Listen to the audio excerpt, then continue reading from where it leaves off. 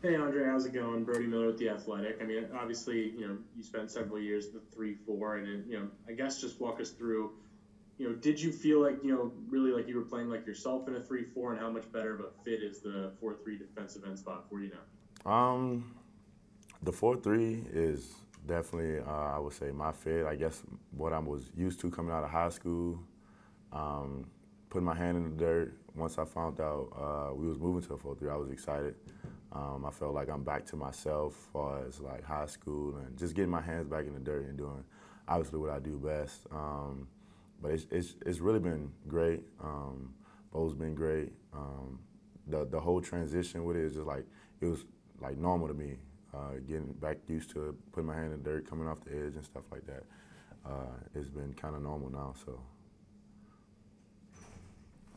Hey Andre, this is uh, Glenn West, LSUSI. You know, it kind of seems like a common theme that you know whether it's Jontre last week or and you in your case that you know just waiting your turn and and and having that kind of impact on a team this year. I mean, just kind of what has this I guess first couple games been like for you? Uh, now that you're kind of a full-time starter, and then also just kind of you guys as a whole as a defensive line, you know, you guys have been getting a lot of pressure on quarterbacks. Just kind of talk about you know the, the defensive line's play as a whole? Um, going back to what you said, like Jontre uh, said, um, just waiting your time. Um, I had guys like Arden Key coming in, um, Caleb Warren. Um, so it's just watching those guys and learning from those guys and just waiting for my opportunity, um, just like they did, waiting for my opportunity. Um, now that I have the opportunity to make the most of it, it's my senior year. Um, and then, as far as the, the D line, um, I'm excited. Like we've been doing great. Um, as a whole, it's like it don't matter if you're a one, two, or whatever. It's like everybody's is if a different person's on the field, it's like the same, the same thing. Nothing different. Um, everybody's playing like the first teamer, um, and it's just exciting to see. And just the, the progress we made, um, we put in a lot of time and work off season, um, staying together, making sure we coaching each other up, and just staying on top of each other with everything. And just now seeing everything unfold and um, the production we're making as a, a unit is, is very exciting to see. Hey, Grace Brooks from The Advocate. Um, you know, how much can an attacking style defensive line get tripped up in an offense like Missouri? I mean, Jacoby kind of said it reminded him a little bit of Auburn, and how do you keep from getting sucked in and stuff? Um, I, to be honest, it's just us doing what we do best. Um, Bo's going to scheme it up, whatever uh, have you, um, and we just got to do um, our assignment, our job, um, get to the quarterback, uh, um, just basically just do what we need to do, do our jobs, and just you know make plays um, when need within the scheme and stuff like that. So. Hey Andre, it's Amos from uh, WW Illinois. Uh, quick question: What one your pregame outfits are you still now that you're playing a lot more you still putting as much effort into that area? I don't know. Uh, i um the first game i came out with uh i think it was i forgot what it oh kind of like a little old suit i had. Um i haven't been really not so much into it like that. Because I felt to be honest I thought the first the first game coming down Tiger I'm like it's not about to be nobody out there. So it's like I'm not about to spend all this money on these suits jackets and nobody not about to be out there. So um, obviously it's people out there. So I don't know. I might stay up to it. I might not. I don't know. I'm still really thinking about it um, if I should or shouldn't because um, I know like the away game uh, we went to um, this past week, I just wore like a regular suit jacket. So um, I don't know. I'm still thinking what I'm gonna do. I don't know.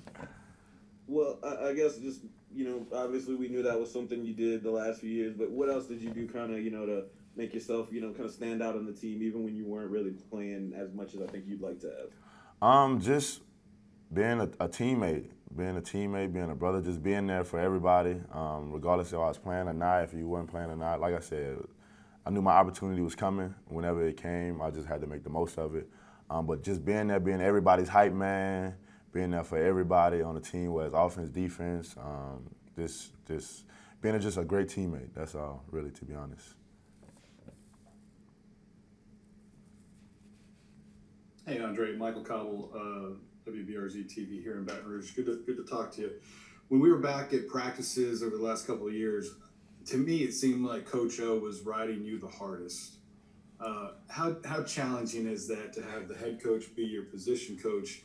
But on the plus side, you have to know he cares about you if he's going to put that much effort into you. And do you feel like it paid off? I, to be honest, I definitely feel like uh, it paid uh, paid off. Me and Coach O talked a lot, and he tells me all the time, "I'm proud of you. I'm proud of you. Like becoming a leader. Um, I never like gave up. You know, a lot of guys could have did this and that. I could have did this and that, um, but I decided to you know stick it out. Um, and like I said, just wait my opportunity. And now that I got the opportunity and I'm making the most of it, um, and like the, the coaching he's been putting me through, he never you know, put me on a back burner or anything like that. He always motivated me. Look, your time is coming. Your time is coming. Just make sure you're ready. And just hearing like now him uh, still on me, like it's not nothing changed. Just because I'm a starter or whatever like that, he's still on me um, every day, making sure I, I don't get complacent, um, that I stay consistent, and um, and like I said, just the the main thing, him telling me, you know, because I've been here for a long time. He recruited me um, too, and just to him, like he proud of me everything, you know, fought, fighting through adversity, everything that I've been through with injuries, um, coming back, you know, um, like I said, playing behind guys like Caleb One and Arden and stuff like that, just telling like now that he's proud of me for, you know, sticking it out and, and doing what I needed to do. And now I'm in the place that I'm, in the position I am in today, so. Hey Dre, Jared Roser, TigerDetails.com. Um, you already know I support the the game day suit, even if it's just for the gram or whatever it, it needs to be for. But um, we talked some prior about this year and, and what it meant to you, and you, alluded to it some there, everything you've been through. After the journey to get here, how meaningful is this opportunity for you and, I mean, your family and people around you? Just how exciting are these Saturdays now? Man, it's truly a blessing, truly a blessing. Um, and just looking back, um, thinking of game one, um, and even kind of game two, just just doing pregame, just thinking about everything that I've I've been through. Like I said, with coming in and not being able to play, and then coming back uh, first first game, I think it was BYU week. Um, you know, starting and injury comes, and I'm out for a full season, and then coming back and it's it's just and then getting back in the shake of everything and it's just like I've been through a lot and like I said, just overcoming that adversity and me not giving up on myself, not giving up on football, my family always, you know, keeping me intact and keeping me motivated. Um, that you know, pray it up and just know like my time is coming. I never know when it's gonna come. Uh, I didn't know when it was coming, but I knew it was coming, and just make sure I stay prepared. And and that prepared me for this moment now that I got the opportunity to go out there and do what I need to do. It's my senior year, so um, I just like stuff like that keeps that that chip on my shoulder and keep me motivated. Just everything that I've been to and all that uh, adversity that I came uh, through. Hey Andre, this is uh, Josh Sibley with Louisiana Gridiron Football. Just kind of touch on that. You know, you, Chris, Jontre, um, even Miles have all kind of waited your turn. Um, is that do, do you guys kind of ha, have you guys kind of bonded over that just just waiting your turn is that some is that like a even with this locker room is that kind of like a uh, uh, is that kind of like a um, oh, what's uh, a, brotherhood inside the locker room of you guys just waiting your turn um it's it's just mainly um like i said you, you a, a lot of guys a lot of great players come through lsu a lot of great players so um, we even tell like the young guys, you never know when your opportunity is going to come. Someone can get hurt. Someone might, you know, opt out. Like class situation, uh, you know, you just you just never know your opportunity. You just never know. Um, and just even with the young guys, we tell them, you know, don't get down on yourself if you might not be playing as much. Or, you know, you, you're young. Or, you know, stuff like that is just it's not so much of a a locker room thing It's just us keeping us each other motivated and just watching like guys like Jontre, guys like Chris Curry, who's who've been behind other guys and who had to wait their turn, and now they got the opportunity to do what they're doing now. It's just exciting to see like Jontre making plays, Chris Curry, Miles Bennett. Like I said, we all come from different situations, but just to watch everybody actually now actually get the opportunity and do what they're doing now is just exciting to see. Hey, Andre Wilson Alexander from The Advocate. Uh, play y'all playing Missouri for the first time since Ed Orgeron's first game as interim head coach was the last time that y'all played Missouri. If I'm not mistaken, you were a redshirt freshman at the time. What do you remember most about Ed's first week as interim coach? Um, to be honest, I can't remember.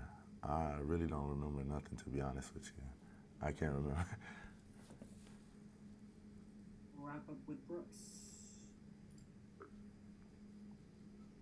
Hey man, um, you know, we got to see a little bit of the new third down package that you're in. Um, I mean, what, how, how similar is it to ones of, of defenses past? And I mean, kind of another question too. Uh, so you put the number to three. Was, was there any significance to that? And uh, Um, with the, the, the whole package thing, um, I love it. Um, to be honest, I actually love outside and inside, but I love playing inside. I'm have more freedom to do a lot more inside for as like pass rushing and stuff like that.